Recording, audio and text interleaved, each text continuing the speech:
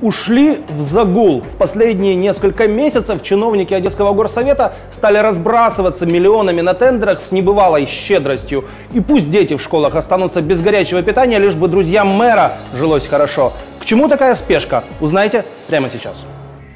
Январь 2016 года. Мэр собирает директоров школ в горсовете. Надо обсудить, как сэкономить на питании самых младших школьников. Мол, раньше государство давало на это деньги, а теперь не дает. На самом деле, раньше горсоветы были обязаны кормить учеников первых-четвертых классов. Потом Верховная Рада чуть изменила закон, и этот вопрос оставили на усмотрение местной власти. Можно кормить, а можно не кормить. Труханов решил не кормить. Мы должны четко, как любая семья считает свой бюджет семейный, также и мы должны с вами э, считать бюджет городской и понимать наши сегодня реальные, реальные возможности. В каждом городе громада общественность, власть городская принимает решения, которые по силу, по бюджету.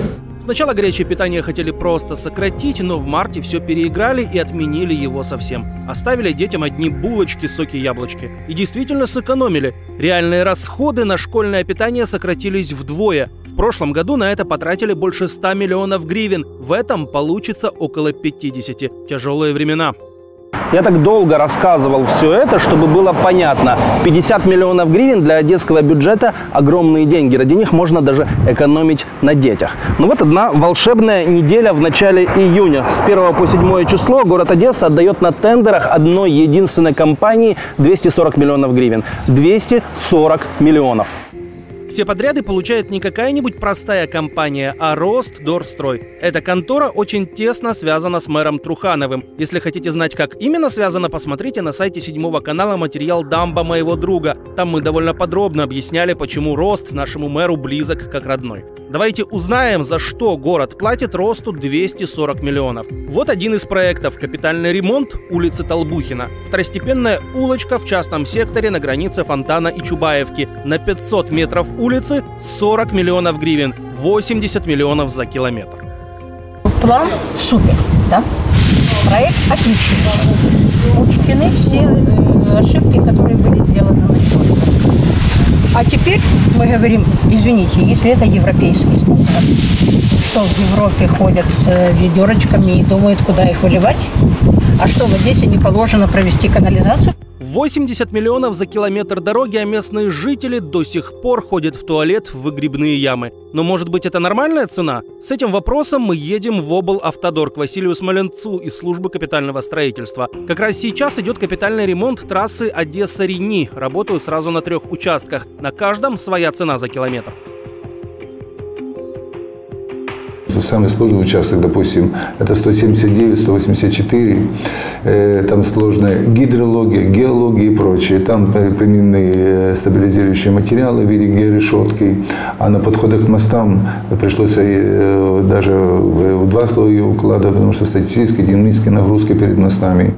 От 11 до 12 миллионов, где-то там плюс-минус, все зависит от конструкции. Итак, максимум 12 миллионов на километр за самый сложный участок международной автотрассы в области и 80 миллионов на километр за второстепенную улочку в частном секторе в Одессе. За эти деньги ее можно было укатать в асфальт полностью, но ремонтируют только 500 метров от Петрашевского до Глинки. Вот почему Глинки вы спросили? Потому что от Глинки она уходит у, на... На Ромашково не на Ромашково, а в переулок Глинки на соединение с шесть, ага. вот шесть новых домов. Там на Ромашково тоже будет предусмотрена значит, дорога к этим подъездам домам и выезд через Ромашково, а у нас в одну сторону.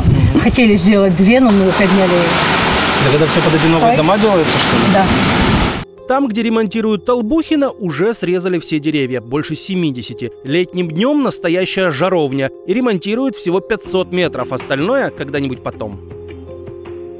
40 миллионов. Этого почти хватило бы, чтобы оставить детям в одесских школах горячее питание. Вместо этого мэрия платит бешеные деньги компании, связанной с мэром, за ремонт небольшого участка дороги ради того, чтобы жителям вот этих домов в будущем было удобнее ездить домой. За них, конечно, можно только порадоваться, но почему платить должна городская община, а не компания-застройщик?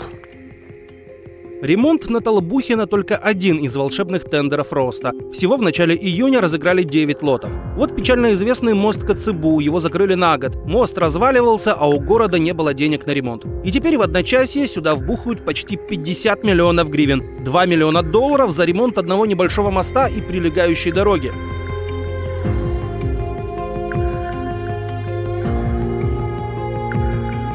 Еще 110 миллионов Рост получит за реконструкцию электросетей на поселке Котовского. Ирония в том, что платит город, а сети потом бесплатно передадут на баланс облэнерго. Да, это частная компания, но мэрия не может содержать электросети, поэтому их сначала построят, оплатят, а деньги за их использование с одесситов возьмет облэнерго.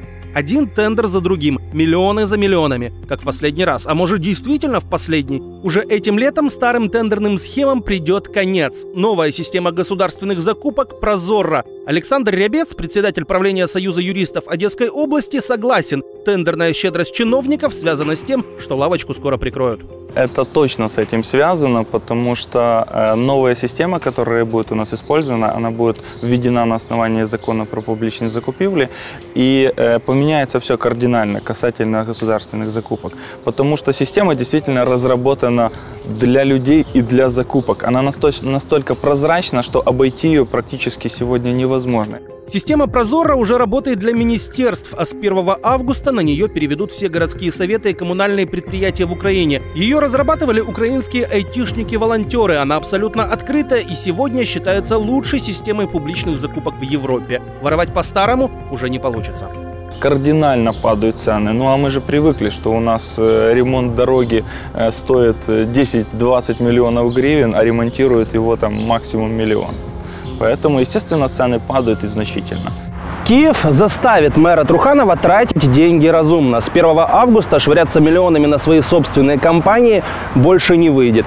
Да, всего за неделю город выбросил четверть миллиарда на безумные проекты, но это скоро прекратится. А там мэр сможет и горячее питание в школы вернуть. Еще и расскажет вам, какой он молодец.